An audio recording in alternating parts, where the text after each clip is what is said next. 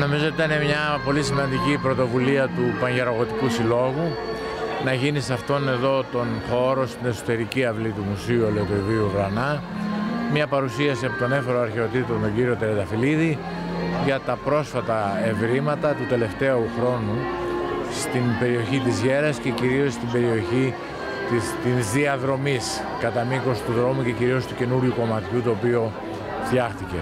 Είναι σημαντική όλη η παρουσίαση που έγινε και από ό,τι έγινε τουλάχιστον κατανοητό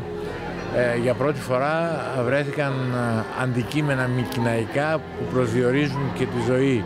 στην Λέσβο κατά τους μικυναϊκούς χρόνους.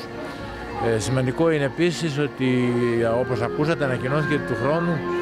ε, με πολύ έτσι ζέση η εφορία αρχαιοτήτων θα κάνει μια παρουσίαση για το, την ιστορία του λαδιού με την ευκαιρία και των αντικειμένων που υπάρχουν των νεότερων και αναφέρουμε από το 1880 και μετά στο Μουσείο Βρανά αλλά και ενός αρχαίου αντικειμένου μοναδικού του διπλού λινού που διαθέτει και παρουσιάζει το μουσείο.